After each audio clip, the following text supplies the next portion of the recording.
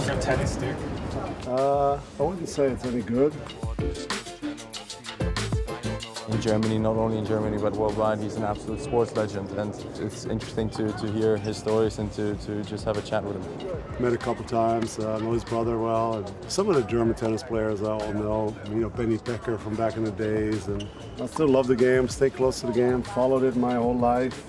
Went to Wimbledon three or four times, and this is my first time to the Aussie Open. This is a bucket list thing.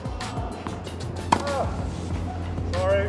Obviously, the movement is a bit struggling a bit these days, but he can play. He has obviously talent. There's no question about that, and he played when he was younger, so uh, he knows how to play. I grew up playing it since I was four or five years old. Obviously, for every big guy, you try to serve big and step in and try to finish it with your forehand. That was uh, sort of my game, I guess.